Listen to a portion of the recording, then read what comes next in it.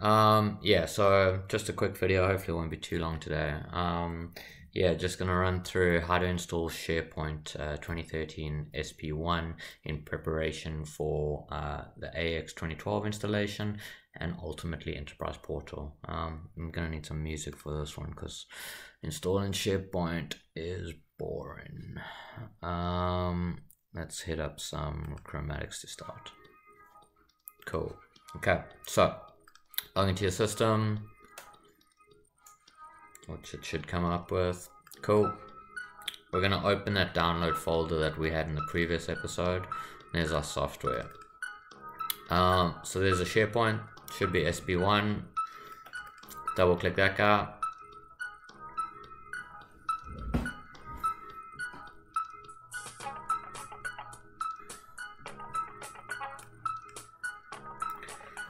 Yeah, this is gonna take some time. Um, and the the actual text is gonna be.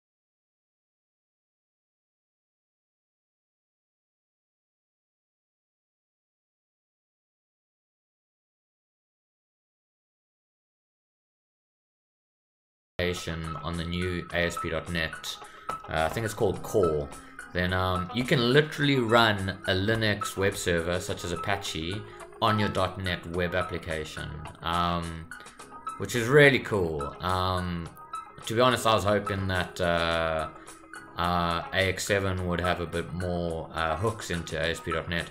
It might, but the way I haven't seen that much too, to yeah. Anyway, so Microsoft SharePoint 2013, boom, boom, boom. Gonna restart. So yeah, we'll just hit finish. It's gonna restart the system. Um, then we just gotta wait a while, really. Um, so it'll take a few minutes, probably more. I was having a few issues earlier with uh, starting up my Azure virtual machine. So you can see uh, it's kind of, it was working. I mean, things were happening on the server, um, but remote desktop wasn't letting me log in. So first I tried to restart the, the server, hoping that would happen or, or help me out. It didn't. Ultimately, what I had to do was I had to stop the server, restart it, and then connect. Um, this happens occasionally. Not, it's not, it doesn't happen heaps, but yeah, look, it's one of those things. Sometimes you might have to stop your virtual server uh, and just give it a nice little restart or, or, or a fresh start.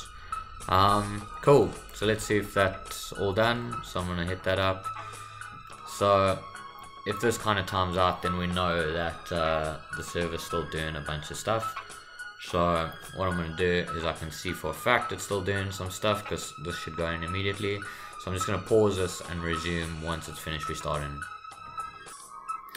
Okay, so it should be back up. So double click that little guy. There we go. Bang, bang. Put in your password. Remember me, even though it never does. Okay, now what it should do is it should load it. It'll do a few more odds and ends. So just let it do its magic. Um, yeah, and what this is doing is getting all those prereqs ready. So this isn't actually even the installation of SharePoint. This is literally just the prereqs. Um, but yeah, like I said, and I'll probably repeat it a few times, it's always good installing SharePoint 2013 SP1 first in any AX 2012 deployment.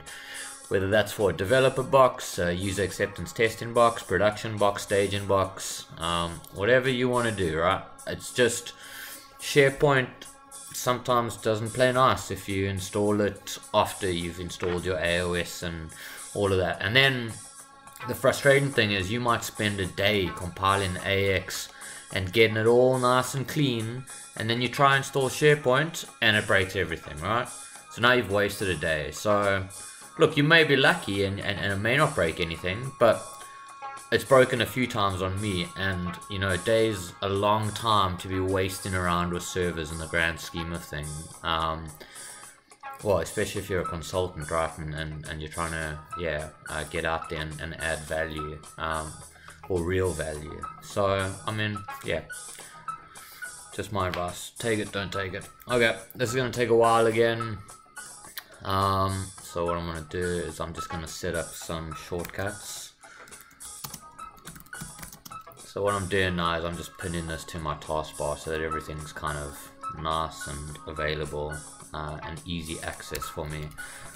Um, so I'm also going to just take Active Directory users and computers and I'm also going to pin that to the taskbar. Cool. Okay, system needs to restart. It does this. Cool. So we're going to hit that up. Okay, I'm going to pause it again. So bear with me. Cool, we're back up. Um, cool. So let's open up the server again. Tell Dave the truth, or you just pick out the chunks of meat and pretend like nothing ever happened. It's our decisions in life that define us. Vinomofo, the most epic wine site on the planet. Cool, we're back up. And let's see what happens.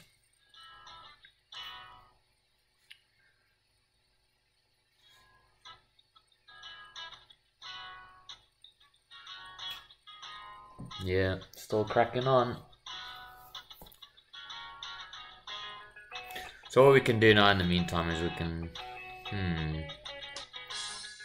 Yeah, I think it's a good idea. Um, I was going to save this step for another video, but might as well make hay while the sun shines and all. So what we're going to do is just set up some system accounts for uh, basically our AX users. So I'm going to open Active Directory users and computers. Ah, okay. Well, here's the installation is complete, which is cool actually because it doesn't require a restart. So let's finish that off. Um, so what I want to do here is I just want to create a new folder.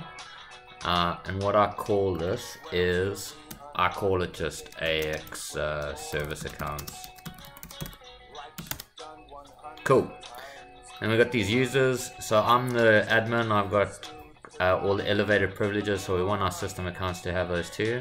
Just gonna right click on my name and go copy. I'm gonna call this AOS. Cool. And I'm going to say user cannot change password and password never expires. And this is what I'm talking about earlier, if you still remember, about how you want to have a company policy with passwords. Uh, so I use the same for all my system accounts. And then that way it's easy enough to debug them. Um, works for me. You'll call how you want to do it. Cool, so created AOS, I'm just going to drag that over to the AX service account. Yeah, I don't care about that. So yeah, there's my AOS now. Now I'm going to copy this one. I'm going to create uh, BCP, which is Business Connector, which we'll get into at a later stage. Same story, I'm going to add the same administrative password, so if I was debugging any one of those accounts, I'd be able to. Cool. And I'm also going to create one for Management Reporter.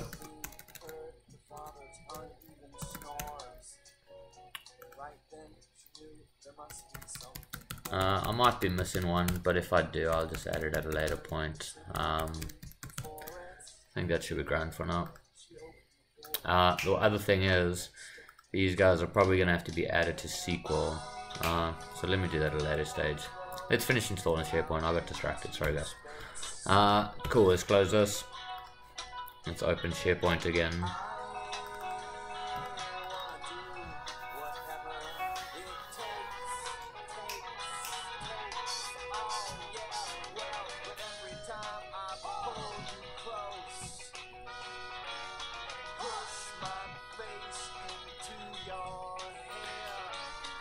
And now this might not even work because it might require a system restart.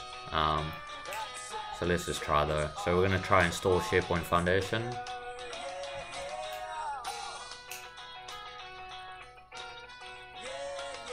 Cool, we're going to accept the license terms.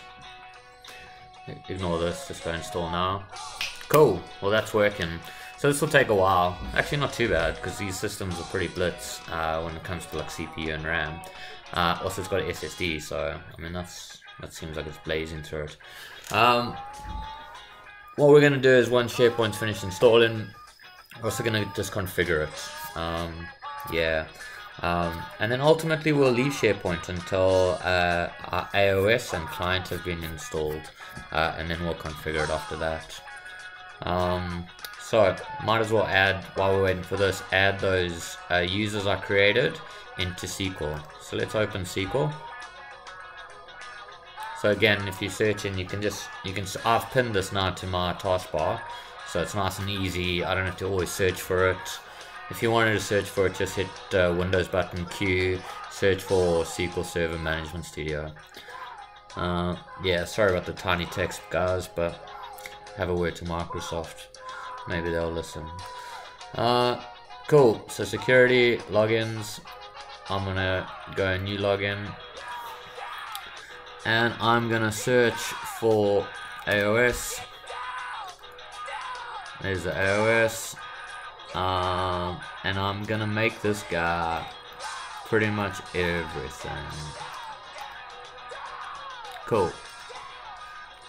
So there's the AOS I'm also gonna look for BCP uh, doo -doo -doo, and I'm also gonna just give them all the roles. I know this is best practice, but I couldn't be bothered debugging at a later stage. So if you're pedantic and you want to choose specific roles, go right ahead.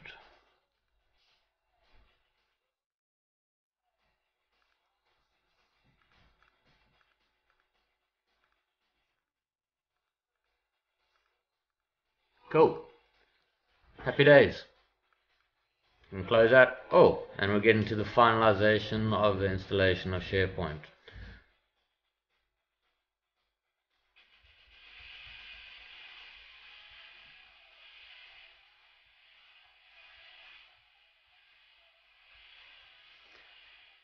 Um, yeah. Um, so hopefully this like I said, there's a lot of downtime in infrastructure. I mean, like, I guess if you wanted like an easy gig in AX, you'd really just become an infrastructure guy. Although, having said that, some of the biggest pain points and the most horrible discussions around AX revolve around infrastructure and performance. So, uh, you think you might be getting an easy gig, and you're probably getting one of the worst gigs. Um, also, most clients AX infrastructure set it. I don't know what they do, man. Like you go in there and it's like I don't know, someone, someone, like, it's like they let a pack of monkeys loose or some shit. I don't know, like, it's crazy. Um, so yeah, infrastructure is very important. You get it right. Um, yeah, um, yeah, cool. Okay, so now what we're gonna do is we're gonna um, configure it, right? So we're just gonna click next.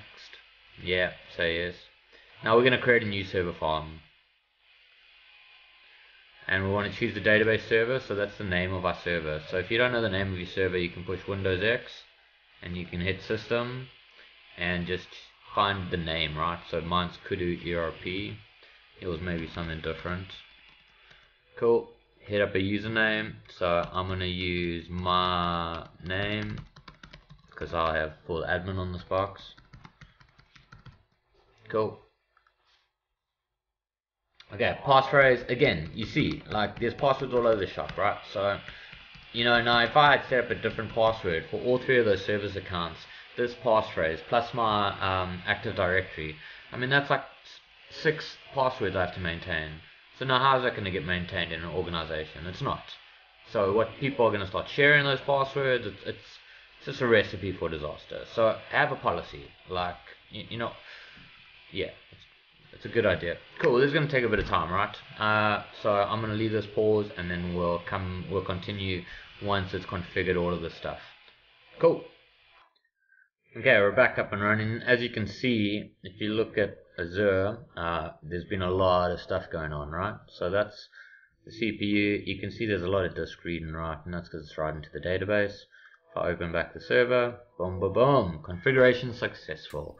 Now you might run into some issues here. Uh, there's a whole heap of reasons why that can occur. Um, yeah, um, I think it'll be cool if you do run into any issues, write it in the comments. Uh, I'll try answer it. We can debug it, uh, and then ultimately, the next people that watch this video will hopefully see your comments, and if they got the same issue, you can help them fix theirs. Right? Pass it forward a little.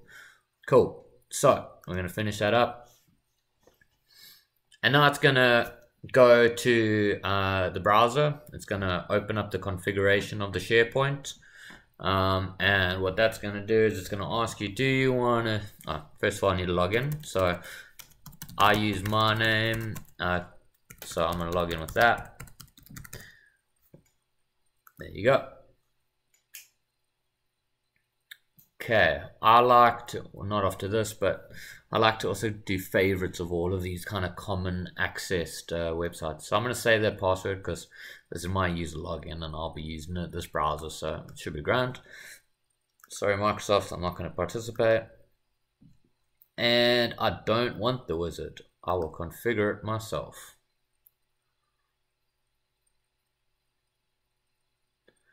Now it's going to take a bit of time. SharePoint's, I mean, I'm going to talk about a lot, but AX is notoriously slow, and SharePoint, uh, and by extension, Enterprise Portal, uh, is some of the worst of that.